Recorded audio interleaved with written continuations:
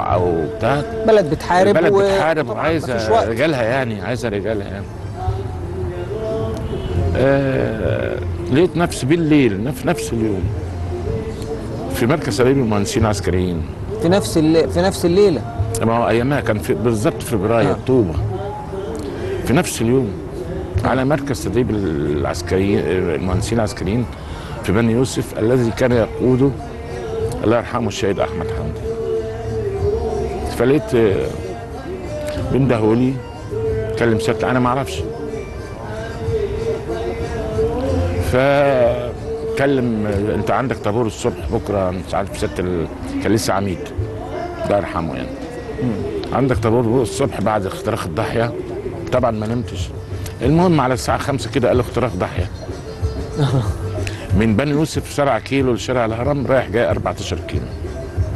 اختراق ضاحيه اختراق ضاحيه لقيت قائد هو كان بيزك شوية كده الله يرحمه.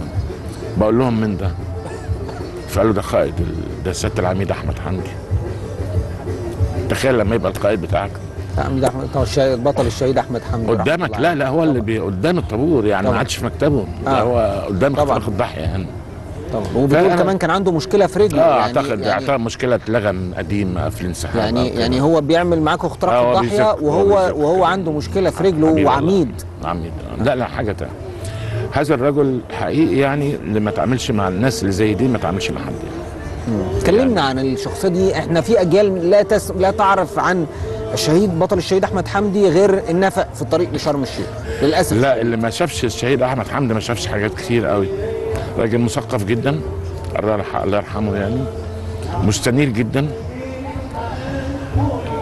رقيق جدا. رقيق هذا القائد العظيم. أب أب آه. اب أنا بقول لك على أب. يعني راجل بياكل من نفس القروانة اللي أنت بتاكل منها يعني. بياكل منها من المجندين. نفس الأكل نفسه. آه. من نفس المطبخ يعني. ما لا هو أب يعني يعني تحس كده حتى هو هو كان آه، يعني حاسم جدا وحازم جدا ولكنه حسم الأب يعني. ف المهم في المكتبة عملنا قضيت رحلة اتعلمت فيها الرجولة وال وإزاي الناس دي الظباط دول وال... كانوا عايشين يعني. يعني هي مرحلة حقيقي هي اللي صنعتني يعني, يعني انت كمان حضرت لحظة استشهاده. آه حضرت لحظة استشهاده. آه، يمكن بقى. من حاجات ما أقدرش لأن هقول لحضرتك أنا حاجة. أنا في ناس آه مثلا أنا بنت من بناتي مرة بتفرج على حرب العراق. فهم متأثرين جدا. وبيبصوا لي بيقولوا لي أنت مش قلت لهم أنا شفت الفيلم ده قبل كده. شفت الدنيا. الاحوال دي والمآسي. آه لا يعني بص يا بيه ما حدث لمصر في الفترة دي ملحمة إنسانية بالفعل لأن الناس كلها لازم تعرف ولازم ندرك كلنا. عشان كده أنا غيور جدا على بلدي لأن بلدي أو وطني أمتي دي مركز الكون ومستهدفة على مدار التاريخ. أوعى تفكر ان هيجي في يوم من الأيام إن مصر ما تبقاش مستهدفة. مستهدفة جغرافيا مستهدفة اجتماعيا مستهدفة.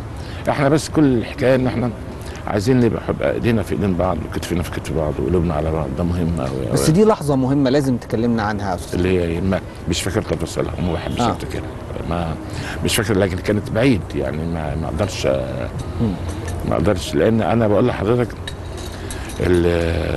طب أنتوا أنتوا كان احساسكم إيه بعد لحظة استشهاده أنتوا أكيد مصر يعني كلها يعني إيه؟ مصر, مصر- كلها كانت حزينة كلها. بس أنتوا ده كان قائدكم وزي ما انت بتقول ما كانش قائد عادي ده لا كان لا. لا لا لا كلنا انهارنا يعني أنا عايز أقول آه. لك يعني أنا عشت لحظتين آه، لحظة قبليها كمان هتخليني أفتكر حاجات غريبة أنا كنت نايم في المكتب في م- مركز تدريب المهندسين العسكريين دي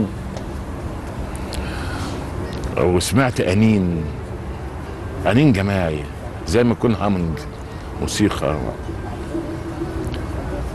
ف